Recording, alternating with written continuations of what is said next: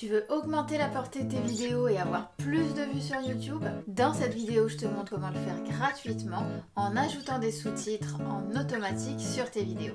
Si on ne se connaît pas, je suis Camélia de Video to Grow pour des conseils stratégie, outils et mindset pour faire grandir ta chaîne avec la vidéo sans bébé.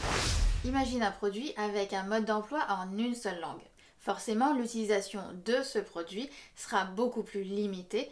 C'est la même chose sur YouTube Mettre des sous-titres va non seulement aider les personnes de la communauté YouTube, mais aussi toi en tant que créateur vidéo. Pour les viewers dont ce n'est pas la langue maternelle, ils vont pouvoir s'appuyer sur les sous-titres pour suivre ce que tu dis dans ta vidéo. Les sous-titres vont aussi aider les personnes malentendantes à comprendre le contenu de ta vidéo en cliquant sur les petits CC de la vidéo dans les paramètres. Et aussi comme sur d'autres plateformes, beaucoup de gens regardent des vidéos sans le son. Et donc avoir des sous-titres sur ta vidéo va permettre à ces personnes de quand même suivre ta vidéo et de la regarder. Donc au final, mettre des sous-titres sur ta vidéo va vraiment être un avantage pour toi en tant que créateur vidéo. D'autant plus que c'est une information que YouTube met en avant sous la miniature de ta vidéo et qui sera une information d'autant plus importante dans le choix de la vidéo à regarder par tes viewers intéressés par cette option. Alors comment activer les sous-titres en automatique? Alors oui, YouTube fournit des sous-titres en automatique mais pas dans toutes les langues. Elles sont disponibles en anglais, coréen, turc, allemand, espagnol, français, indonésien, néerlandais italien, japonais, portugais, russe, vietnamien. J'espère que j'en ai pas oublié. Et ces sous-titres vont aussi bien apparaître sur les shorts YouTube que sur les vidéos un peu plus longues.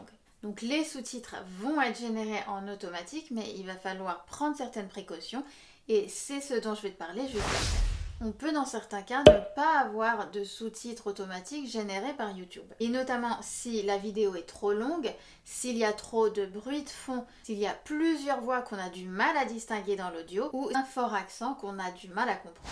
Et toi en tant que consommateur vidéo, est-ce que tu actives les sous-titres dans les vidéos que tu regardes? Dis-moi en commentaire.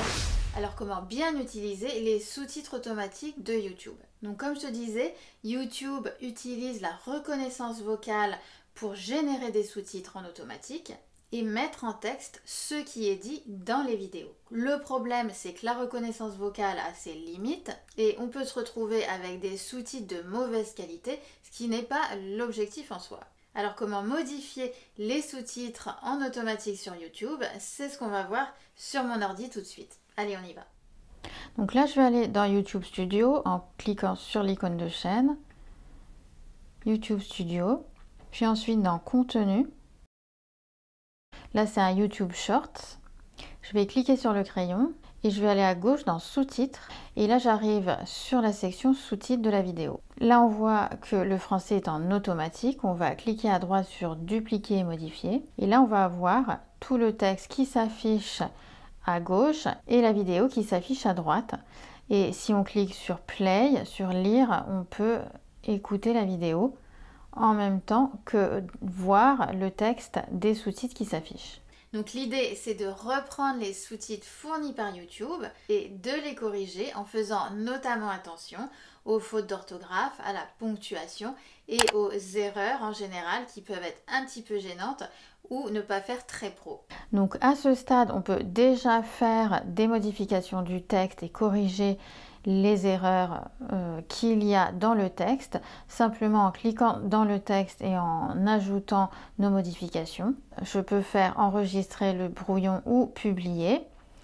Mais il y a une autre aussi modification possible, c'est de modifier les codes temporels.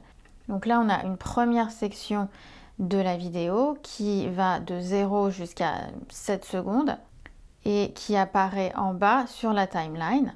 On peut la réduire pour la voir complètement, voilà. Si on veut faire des modifications à ce niveau-là, on peut aussi changer le texte à ce niveau.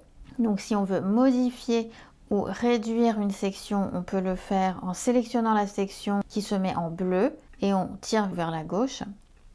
Donc là, on a réduit la section, on voit que là, c'est passé de, 7 secondes à 6 secondes. Et on peut rajouter par exemple une autre section pour compléter la seconde et venir ajouter un texte par exemple. Et donc ça va bien apparaître dans les sous-titres. Maintenant, si je veux retirer cette section, je peux toujours cliquer dessus et venir cliquer sur la petite poubelle. On voit bien que c'est la section qui va de 6 à 7. Donc une fois qu'on a apporté nos modifications, il ne reste plus qu'à enregistrer soit comme brouillon, soit publié.